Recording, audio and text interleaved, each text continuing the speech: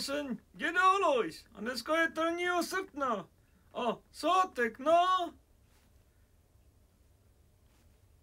No já to vím. Jenom bys to viděl ty, jedo. Oskar!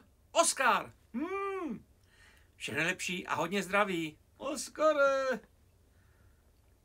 Kdo si myslí, že Zdenek je starý a ošklivý, tak dá oděr a like.